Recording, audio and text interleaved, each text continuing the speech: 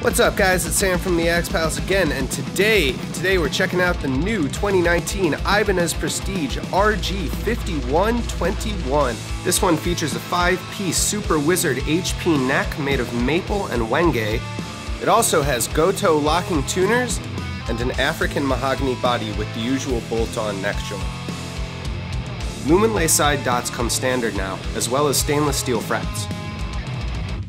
They're using ebony for their fretboards, so that's pretty cool, and they're also using the Fishman Fluence modern pickups. The mini toggle on the front is wired for coil splits by default, but you could rewire to do a variety of other things as well.